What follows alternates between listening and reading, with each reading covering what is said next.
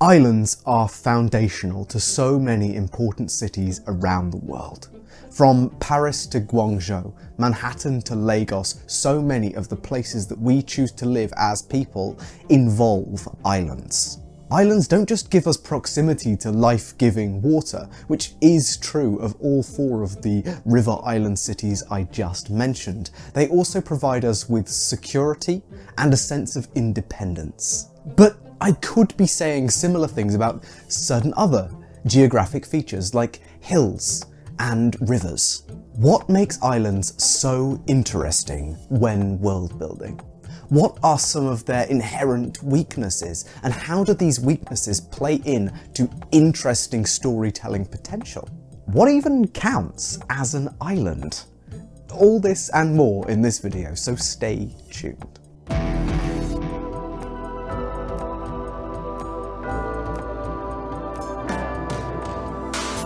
To start with my last question, what is an island? Generally, it is a portion of land which does not constitute its own continent and is yet surrounded on all sides by water.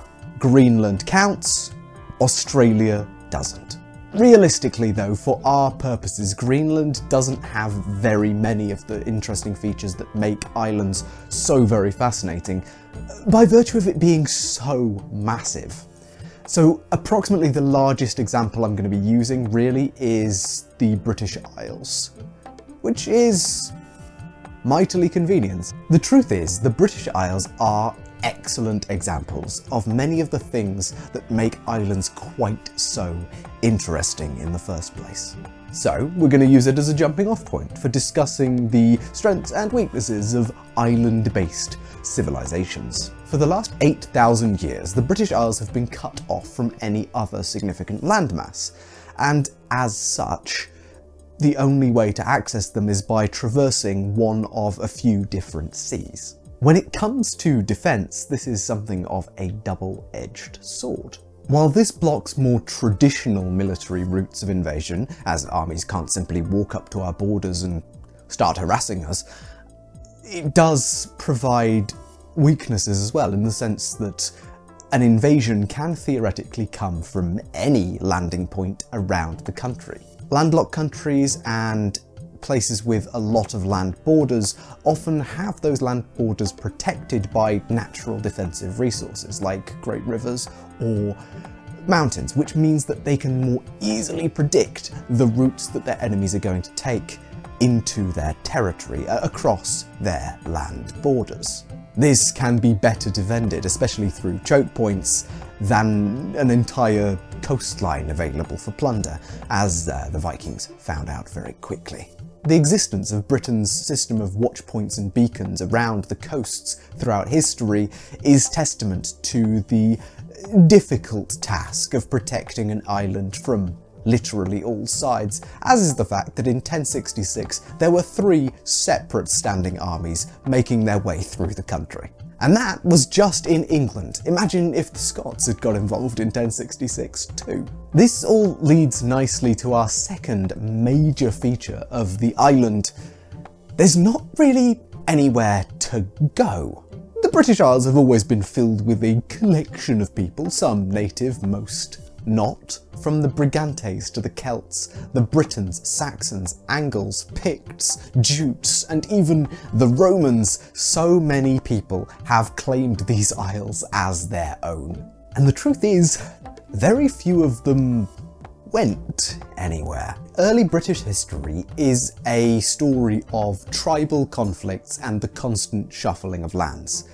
Except the losers couldn't really get pushed out much further after a certain point. We couldn't just send them across the border or send them somewhere else, as medieval Spain liked to do. No, rather we were more stuck with our ancient enemies unless we were willing to pile them all on a collection of boats, which would have cost more than just keeping them subdued in the corner of the country. Instead, absent the ability to, you know, kick our enemies out of the country, Early British history is also a history of complicated and awkward truces, occupations, and uprisings of the oppressed. To such an extent that even today, much of Scotland wants very little to do with Britain in general. It is also possible that being an island generally means that you are a little ahead of the game when it comes to boats, sailing and traversing water more generally, especially as islands often come in groups. Joining your neighbours on a neighbouring island is easier when you don't have to swim. Indeed, swimming is often even not a feasible alternative as it's too energy sapping uh, and distances uh, generally are a little too far and seas are a little too choppy to have that as a viable means of travel.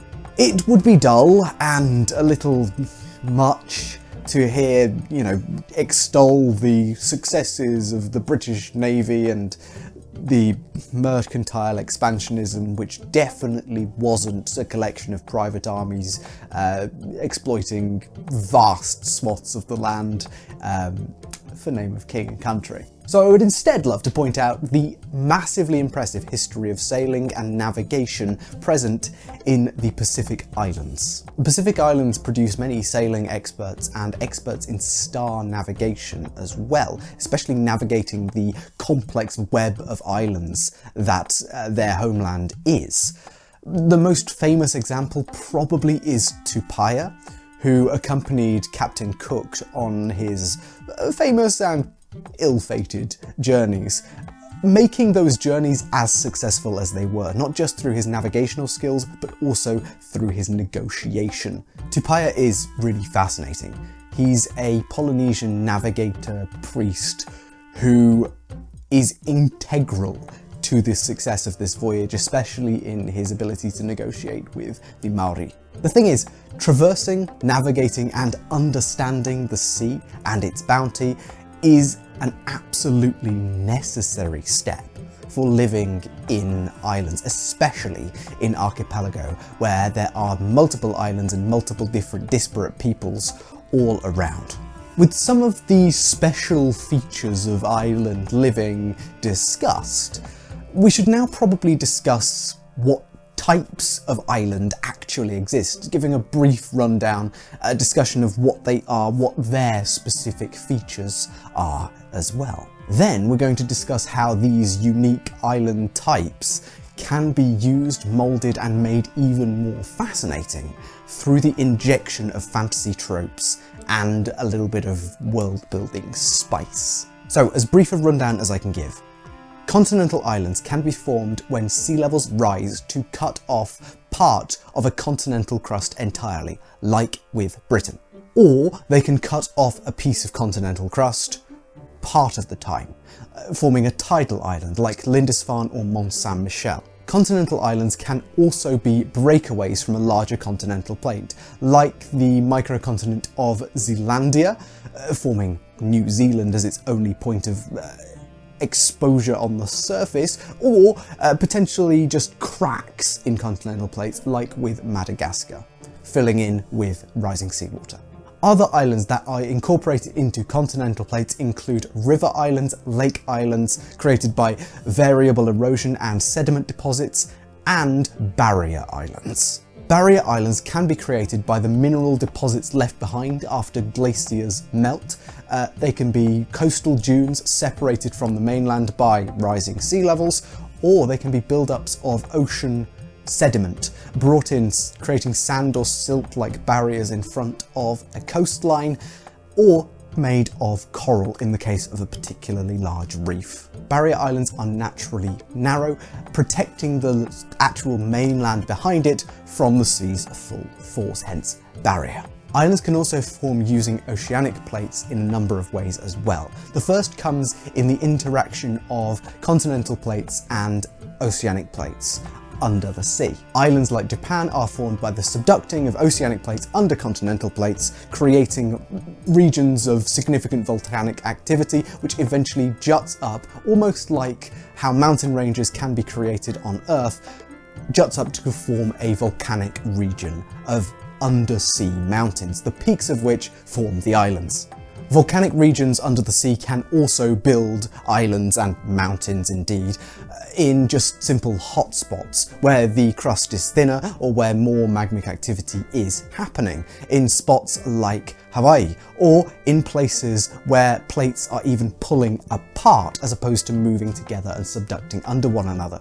These places where plates are pulling apart is less about uh, releasing magma through weak spots, but creating a weak spot and exposing the magma to water. Islands can also be formed of coral, which climbs up structures like seamounts or climbs up itself until it breaches the surface. This forms a sort of land and even when the seamount retreats, it is possible that the coral atoll remains. That is what atolls generally are.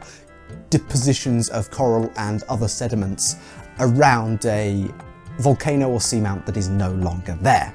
Moving on from plate tectonics, there are some other ways that islands may appear on maps in your world. Artificial land reclamation is more common than you'd think. The 14th century uh, Mexican city of Tenochtitlan is essentially a uh, regular island that has been massively, massively artificially added to in the center of a lake, which now forms the basis of the modern day Mexico City. And it is also possible to create artificial islands out to sea as well, using similar techniques. These are much more modern projects in our world, but in a fantastical world? Well, we'll have a look. There is also the wonderful cartographical phenomenon of the Phantom Island, spotted or marked by sailors or navigators through confusion, tricks of the light, hope or belief in mythology, or simple mistakes and ink blots on the page. The wonderful, entertaining and brilliant map men have made a video recently with more information on that. But that's enough of our basic school geography introduction. Let's talk about how to put these islands into your world. First, continents. Most of these islands only really exist because of the makeup of our world as a collection of rocks floating on hotter rocks. If you're not that bothered about plate tectonics or the kind of realism in building a fantasy world with those in mind, don't worry. Just draw maps that have islands that look kinda like our islands and you'll probably be alright. You can kind of reverse engineer the justification for most of these if you absolutely need to. Generally, bigger islands are nearer to continental land, and the further you go away, the smaller the islands get. They're often also built in chains. And these chains can just be on places of volcanic activity, wherever that may be, whatever your justification might be, like Hawaii uh, and Japan. If you place a random island somewhere in the middle of the sea, oh, it's a hotspot. And if you are making a chain leading off of the mainland, try and have a peninsula leading into that uh, chain of islands as well. Just because it looks more realistic, I suppose. And remember, oceanic islands are generally exactly the same as mountains, except you have to worry far less about whether these mountain ranges are realistic because we're only ever seeing the current tops and peaks of them in the bits that rise above the sea level. You don't have to worry about depth charts or anything like that because no fantasy map has pretty much ever included depth charts for underneath the waves. And unlike rivers and mountains, there's not a lot of rules, really, to making islands that look and feel and, and seem incredibly realistic with basically no effort on a fantasy map. That's the joy of them, really, because no one's going to be nitpicky about the shape of your particular islands. That's just how the magmic activity under the continents works. And if you don't want to bother with all that continents nonsense stuff, well then you can also have islands. They'll mostly be build-ups of sandbars and corals, because seas um, in planets which don't have continents are likely to be much shallower. But now, in no particular order, we're going to make these various different types of islands fantastical. Barrier islands tend to create sheltered lagoon-style areas of water, less disturbed by rough ocean currents, especially the ones that hit the land with quite significant force. Especially as barrier islands are long, narrow, and not terribly useful to build a civilization on, they're often a bit crumbly, um, you're best off putting your land-based civilization behind them, using it as a shelter of a port in some degree. But an undersea civilization could make great strides in this exact environment. And if surface dwellers are using this place as a natural environment to uh, shelter their shipping, then it's an excellent point for cultural exchange and sea taxes from the undersea locals in the sheltered back part behind the barrier island. It might be an undersea civilization's duty to maintain the barrier island in sort of a pact with the harbour port behind it.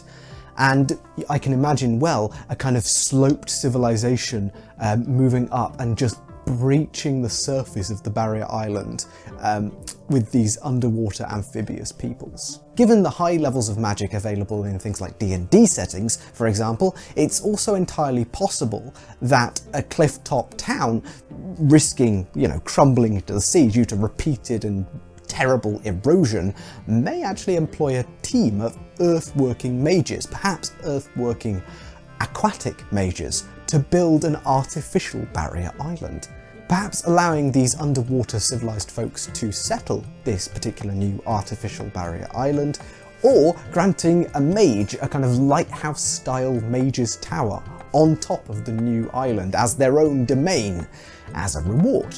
While we're on the subject, artificial islands in a high magic setting seems an absolute no-brainer a high-level mage in a land dispute with a local authority or baron or, or king may simply settle for building his own island, shaping or creating stone to form brand new land, either in view of the lands of the people he's mad at, just to stick it to them further, or just in the middle of the ocean. Wall of Stone in Dungeons & Dragons would probably be one way to do this relatively quickly, um, quick and dirty, perhaps. Perhaps the explorers of local shallows may find exposed and destroyed remains of ancient coastal stone mage islands. Indeed, in 3.5 there's an epic level spell that allows a caster to simply pull an entire island wholesale out of the sea floor.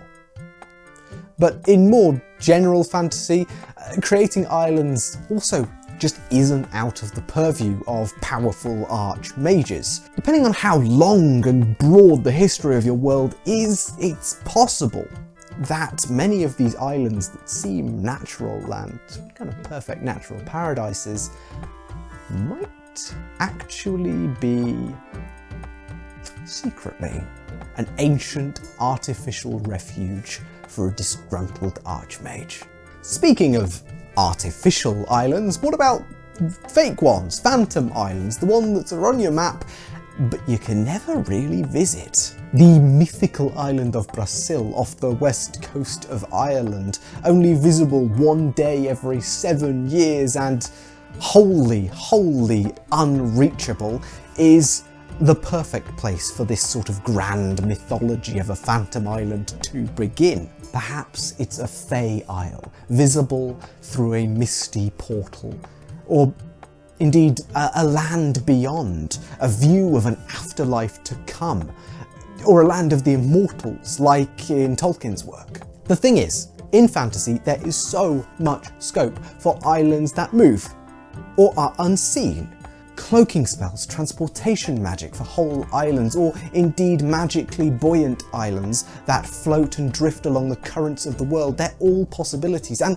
and so is the idea of an island which is simply people living on the back of a great turtle. Phantom Islands would likely be a relatively common feature of many fantasy maps. Not just because someone made a mistake or saw something they weren't supposed to, but perhaps because the island was absolutely, definitely, definitively there, the time a navigator saw it first and marked it on his map. And with the fact that maps just get copied and copied and passed down and passed down until somebody bothers to check, this could be a real problem for fantasy cartographers. You can actually probably expect many of the smaller islands dotted around fantasy maps to have this exact sort of problem.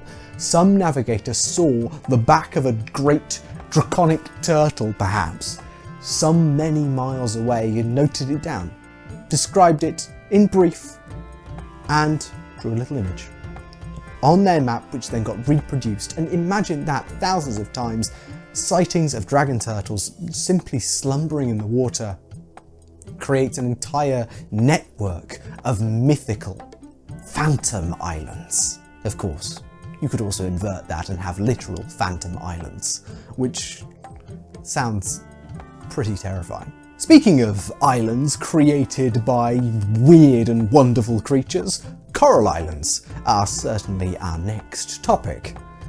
These, and atolls generally, give rise to some of the strangest shaped oceanic islands of them all. Perhaps rings formed in this way of living coral may be the only place of transition between uh, here and the next place.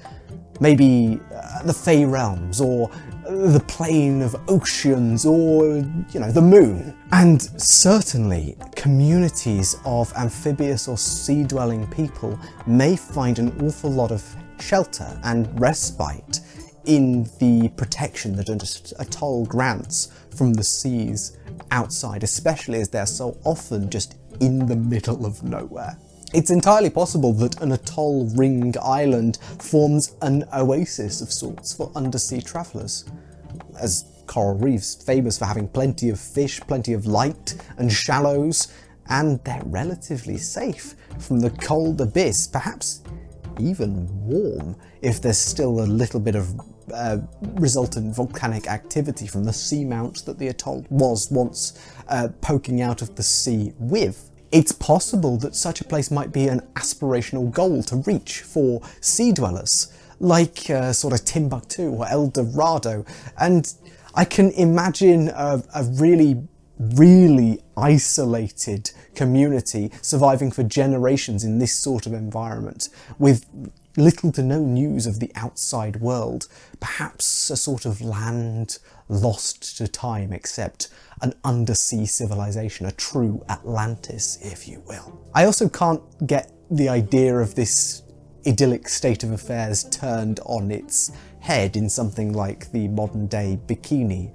Atoll, which, mm, I suppose SpongeBob is kind of the closest we get to that. But this could really work for many islands. Islands are the perfect, the quintessential testing site for I mean, alongside deserts, for ancient magic or ancient weaponry that twists, shapes, and destroys those who use it, and those who are left behind under the seas after all has blown to dust. Perhaps the ancient mage who chose this abandoned ring in the middle of nowhere as the focus for his mass weapon of magic never imagined for one second that there would ever be people who chose to live there, or people already living there under the ocean.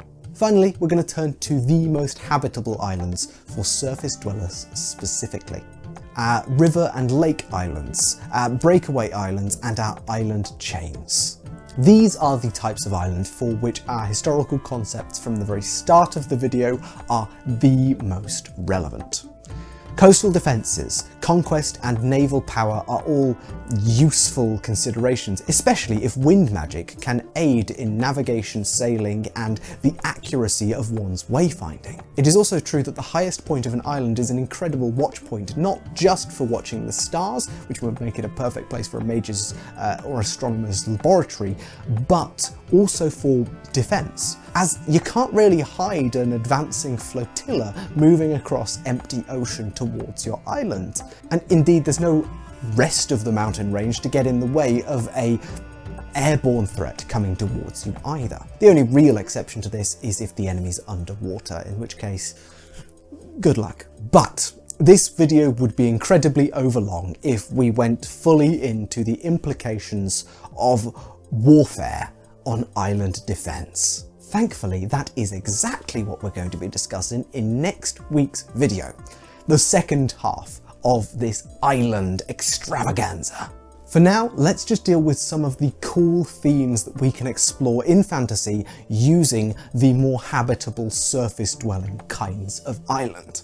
Much like Tenochtitlan, our earth-working mages can likely make viable islands from the smallest of protrusions in the centres of rivers and lakes. This provides excellent fertile land and creates your own natural moat without having to dig it out, which is still an incredibly useful thing in fantasy. The fewer viable routes there are into your city or fortification, the easier it is to screen for shape changes, invisible enemies, smugglers, tax dodgers, toll dodgers, and monsters. Doesn't really help you against a dragon though. But before we deal with dragons, it is also worth noting that bridges might actually be easier to raise in fantasy worlds with the aid of magic than in our own real world. With the aid of magically created stone, for example, or turning uh, clay structures into stone through alchemy or all sorts of different magical means,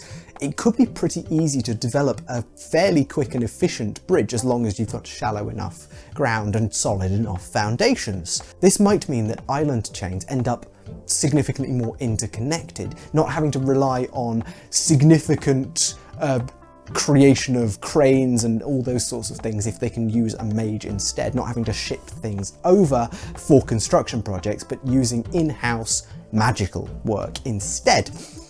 It could be that these island chains get better connected than ever before, uh, than we see really in our world, across the land at least. It's also possible that breakaway islands can be connected to the mainland more easily.